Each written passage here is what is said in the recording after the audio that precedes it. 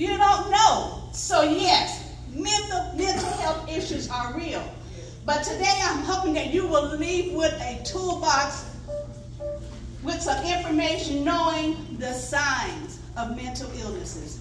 The signs of mental illnesses. And I'm going to talk about four, just four, because there's so many.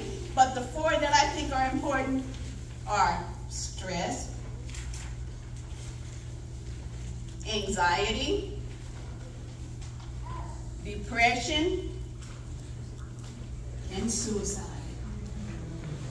Because all these things are so relevant. And you need to know what some of the signs are. Next. Here's some facts about mental health. There's more than five, but I'm just going to start off with five. More than 50 million Americans struggle with mental with a mental illness. Mental illnesses can affect people of any age, any race, any religion, and it don't matter how much money you have. If it wants to get on you, it's going to be there. If it wants to get in that brain, it's going to be there. Two in five young people, this, look at this age, ages 13 to 18, has or will develop a mental illness in their lifetime. One in 5 Mm -hmm. Youth depression rates. Youth depression rates have risen from 12.9% to 25.2% from pandemic. Pre-pandemic. Pre-pandemic, before COVID-19 to today. So it's going 2023. So see that it has risen. Man. Common signs of illnesses of issues with mental health include mood swings, sometimes they're crying, sometimes they're happy, and sometimes they're not. Changes in the eating habit. They may say, I don't want anything to eat today, mama. Even though you fixed the meal that I like, those greens, that those collard greens, those yams, they don't want it. They turn it down. They go back into their room. Excessive worrying or fear, problems concentrating, and avoiding friends or social activities. Things you know that they used to do, used to want to go to, they don't want to participate in them, any, in them anymore. Activities, maybe they were on basketball team, don't want to do it anymore. You think they're getting up, getting dressed to go get to go to a, an activity, they change their mind. They're back in the room, in the bed, door closed, covers over their head, not wanting to come out. Next. All right, here we're going to get to some of the different illnesses. Okay, stress, anxiety, depression, and suicide. The two most common. There are a number of mental health issues that cause young people to feel less than their best. But the two common are stress and anxiety. We all experience stress and anxiety from time to time. That's a part of being human. However, too much stress or anxiousness can interfere with our day-to-day function. That's right. Too much of it can interfere with our day-to-day function. So let's begin by defining both stress and then anxiety. Stress. Mm -hmm. Stress is your body's reaction to change, demands, and situations. Worrying, there's a perception of a threat. Something's going to happen. Mm -hmm. So I'm feeling stressed out. Often we feel stressed because we worry about tomorrow. What's tomorrow going to be? Tomorrow's Friday. Am I going to get a paycheck? Is something going to happen? Well, I'm going to throw some Bible in here. But Matthew 6.34 tells us, Therefore, do not worry about tomorrow, for tomorrow will worry about itself. Amen. But that does not mean we don't do anything. Right, right. We need to study to prepare.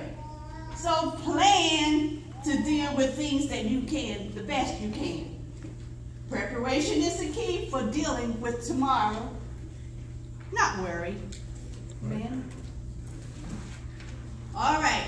This one you got you guys get to participate. I'm Gonna have your little quiz. If you need a pencil and pen, let me know. My my teammate over here, my my daughter Janessa got some pencils for anybody that needs a writing utensil. Get a get a ushers uh, one. And if there's someone that just so came in and need a people when they come handout, let us know. All right, I saw hands, some hands going up, Janessa. Raise your hands up high so Janessa can see you.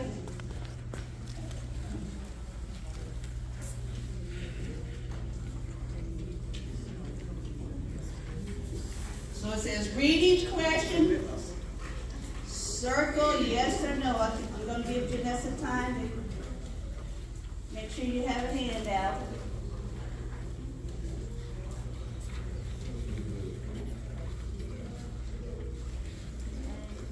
Got one up front, G.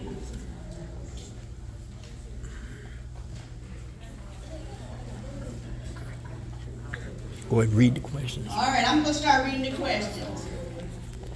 Do you often feel overwhelmed? Yes or no? Do you have trouble sleeping? Yes or no? Do you get more headaches than usual?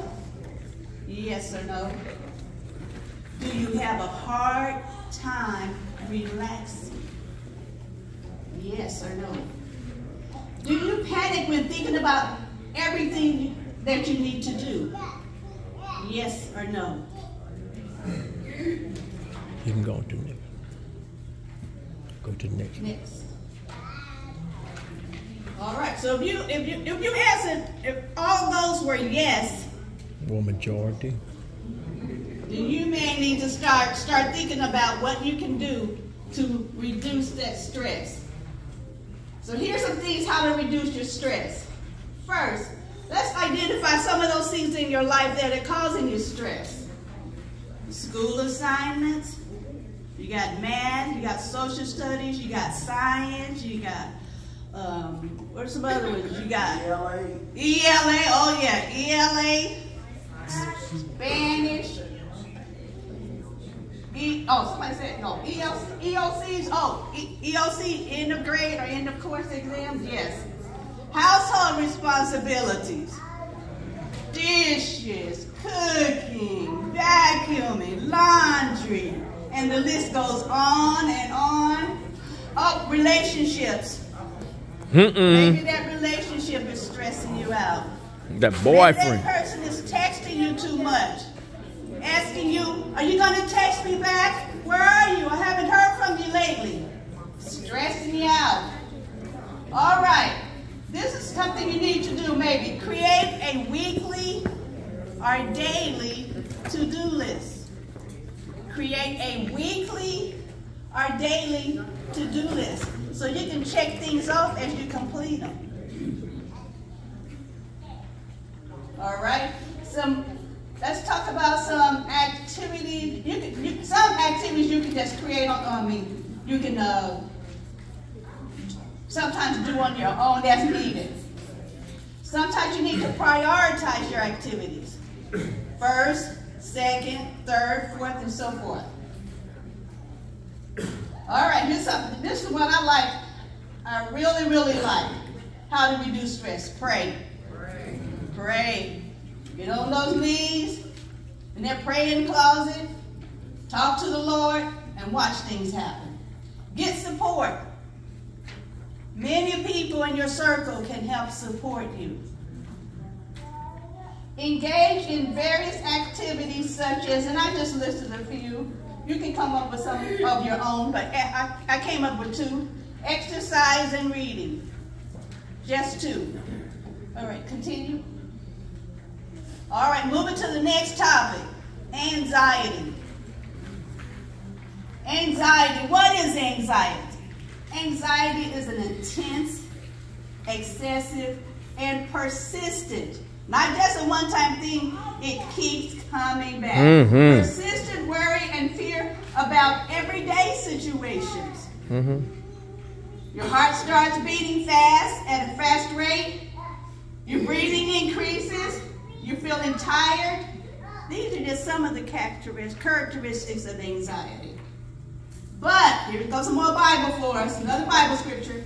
Philippians 4 6 says, Do not be anxious about anything. Mm-hmm. Don't be anxious about anything, but in everything, everything that you do, that you say, by prayer and petition, with thanksgiving, present your request to God.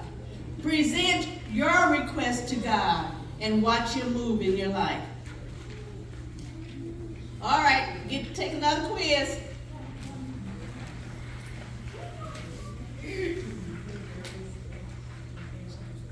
Do you frequently feel nervous and on edge? Yes or no? Do you obsess over what has happened in the past and or what is about to happen? Do you have constant feelings of fear or dread that something's going to happen? Are you easily annoyed and irritated even by minor things, by those real, real small things? If somebody says, you, you'll think like, you know, oh, toothpaste not in the tube right. Maybe somebody didn't unload the dishwasher or something, or put a dirty dish in, in with the dirty, put a dirty dish in with the clean dishes. Minor things. Do you worry excessively or have a hard time controlling negative thoughts? If you are, if you answer yes to more than five of those things, you may need to start thinking about who can you talk to? Who can you turn to? All right, next. All right, how do we re- how should you reduce your anxiety? So search for ways to calm yourself. Examples might include soft music, reading a book, talk to someone, take a walk, play with your pet, watch TV, take a bath, go outside cooking, playing piano, taking a drive. Number of things. Try deep breathing. Sometimes you can get on those apps. Come on TV or you can get them on your phone. Prayer and thanksgiving. Always in order. Always in order. Prayer and thanksgiving. And supplication of petition, petition to God. Next. Depression. Young people can feel sad and worried about different life events such as an exam, fights with their family, fights with their friends, changing schools, moving homes. If the feelings of sadness go on for weeks or months and it affects their everyday life, the young person may have depression. Symptoms of depression in young people include feeling grumpy, having trouble sleeping, Mm-hmm. feeling worthless. Nobody loves me. Nobody loves me. Yeah, you say you love me, but you don't really love me. Guilty, eating more or less than usual, gaining or losing weight. Just some. Just some. But depression. There's no single cause of depression, but it can develop from life events, things happening in your life, genetic disposition. Hormones are a combination of these factors. So, encourage young people to talk about how they feel when, with someone they know, such as someone that they trust, such as a pastor, a parent, a teacher, a school counselor, a family member, or a friend. They need to know that there's somebody that they can talk to. Somebody that they can depend on. that they can sit, sit down and just pour out what's going on to them. An important next step is for the person, as I said, to visit a doctor to learn about depression and how it's treated. All right. Final topic, suicide. These are some statistics I got off my website before I left school. According to the North Carolina Department of Health and Human Services, suicide is the third leading cause of death in our state for people between the ages of 10 to 14. Look at that age. 10 to 24. 10, 10 to 24, I'm sorry. 10 to 24. Young people committing suicide. Unfortunately, the stigma, the myths, and misinformation about suicide prevents both uh, adults and young people from discussing this topic. They don't want to touch it.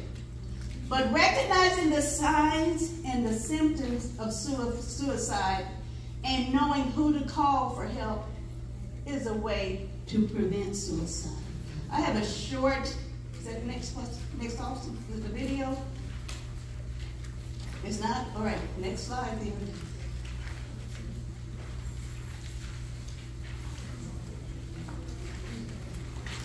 All right.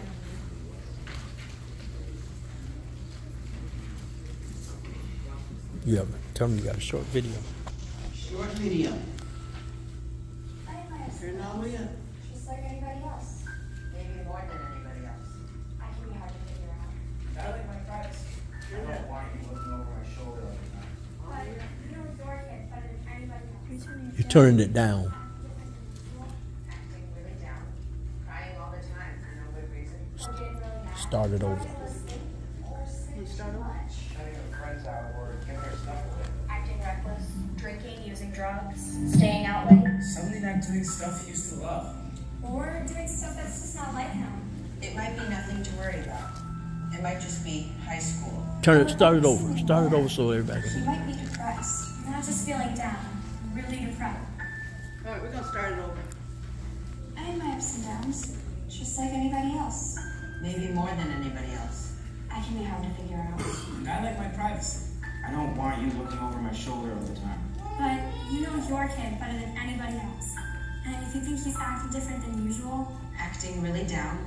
Crying all the time for no good reason. or getting really mad, not able to sleep, or sleeping too much, Shutting her friends out or giving her stuff away. acting reckless, drinking, using drugs, staying out late, Suddenly not doing stuff he used to love. or doing stuff that's just not like him. It might be nothing to worry about. It might just be high school. Or it might be something more. He might be depressed, not just feeling down, really depressed. It might be that your kid is thinking about killing himself. It happens. More than you think. More than it should. And people say, I had no idea. I thought it was just a phase he was going through. I never thought she'd do it. I wish he'd come to me. I wish he'd said something. I wish I'd said something. When it's too late. So if you think your kid's acting different, if she seems like a different person, say something. Say, what's wrong? How can I help? And ask straight out. Are you thinking about killing yourself? It doesn't hurt to ask. In fact, it helps. When people are thinking about killing themselves, they want somebody to ask. They want somebody to care. Maybe you're afraid you'll make it worse if you ask. Like, you'll put the idea in their head. Believe me, it doesn't work that way. It doesn't hurt to ask. In fact, the best way to keep a teenager from killing herself is to ask. Are you thinking about killing yourself? And what if they say yes? Or maybe. Or sometimes, Well, here's what you don't say. That's crazy. Don't be such a drama queen. you're queen. making too much of this. That boy's not worth killing yourself over. That's not going to solve anything. You're just trying to get attention. You're not going to kill yourself. What you do say is, I'm sorry you're feeling so bad. How can I help? We'll get through this together. Let's keep you safe. A lot of people think about killing themselves. Adults and kids. most of them never tried, but some of them do. So if your kid says, I'd be better off dead. I can't live with this. I'm gonna kill myself, Take her seriously. Find someone she can talk to about it. Someone who knows how to help. her. Sometimes kids want to kill themselves because something happened. A breakup, a failure. But sometimes it goes deeper, and it's not going to go away by itself. Get some help. Talk to your doctor. Or a counselor at school. Or your minister. But don't just let it drop. And make sure that your kid always has someone to turn to. Someone he trusts. Make a list together. Write them. Three, four, five names. Put the suicide hotline number on there too. Have him keep that list in his wallet so he always knows where to turn. Be sure your home is safe. If you have pills she could use to hurt herself, lock them up. If you have a gun, don't just lock it up. Get it out of the house. With bullets, too. And one more thing. If you think your kid might be about to hurt himself, don't leave him alone. Take him to the emergency room. Call 911 if you have to. We all have our ups and downs, but sometimes it's more than that. If you think something's wrong, the only way to find out is to ask. Ask straight out. Are you thinking about killing yourself? Don't wait until you're sure. Trust your gut, because it never hurts to ask. And it can make a big difference. All the difference. in your kid's life.